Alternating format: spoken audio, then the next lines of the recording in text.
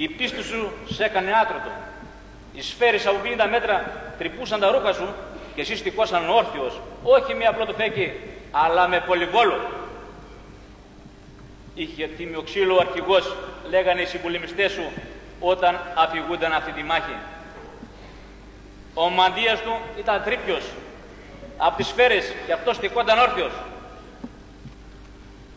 Δεν ξέρω αν νίκης τίμιο ξύλο αρχηγέ, λέω εγώ. Ξέρω όμως πως είχες πίστη, δύναμη και θάρρος, αυτά που αναπτέρωσαν και τους άλλους συμπολεμιστές σου και όρθιοι όλοι μαζί κερδίσατε νίκη μεγάλη. Σε μνημόσυνο Ελλήνων πατριωτών, εκεί οι άντρες του Παλί, αυτά μου έλεγες αρχηγέ, αντί να κάνουν το σταυρό τους, σηκώναν την αριστερική κροθιά. Τότε μου είπε ο ονοματάρχης Στάθης ότι αυτό είναι κομμουνιστικό σύνθημα. Και από αυτή τη μέρα όλη η προσπάθειά μου ήταν να αποκιστρωθώ από αυτούς που θέλαν να μας εντάξουν στη 13η μεραρχία του Ελλάς μέτρα του Γαρδίκη Μελιών με διοικητή το συνταγματάρχη του Παθανασίου. Πήγα στη συνάντηση του Ζέρβα στο Βουλγαρέλι της Άρτας. Μου έδωσε δυο όπλα και μου είπε ότι θα μας στείλει αξιωματικούς για την οργάνωση. Ετοιμάσε με πηδίο ρήψεως στον Άγιο Αντώνη. Εσύ ο στρατηγός σε τύπο Μακρυγιάννη προέβλεψες ότι οι κομμουνιστές δεν θα παραδώσουν τα όπλα. Ενώ το επίσημο κράτος με τα βαρύ του ονόματα τι έκανε, και λέει στη συνέχεια ο υποστράτηγος Βλάχος, το Μάρτιο του 1946 πήγα στα Βάρσελα, βρήκα το Σούρλα και το είπα. Σούρλα, οι κομμουνιστές κάνουν πάλι κίνημα. Στείλει τους δικούς σου στον Όλυμπο. Αλλά ο ίδιος μην πας, γιατί είσαι γνωστός, να μην δημιουργήσουμε πρόβλημα.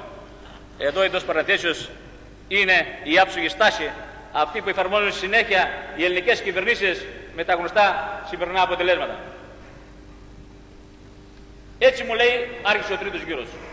Και ο πιο υπόδεινος, Δρελή, Μακρικόρη, Αγιά, γνώρισαν την κομμουνιστική θεωριοδία αλλά και τη δική μας δικαίωση.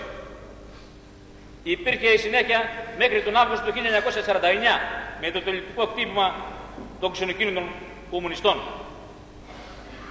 Ήρθε η ειρήνη και ο δρόμος προς τη δημιουργία και εμείς παραδώσαμε τον οπλισμό μας τον οποίο είχαμε μέχρι τότε για την Κύπρο στο στρατηγό Γρήβα. Υποσχόμενοι πως τον αγώνα, τον ελληνικό που έκανες δεν θα τον αφήσουμε στη μέση.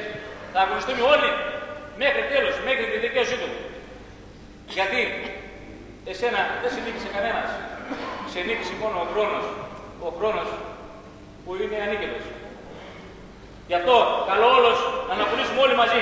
Αθάνατος.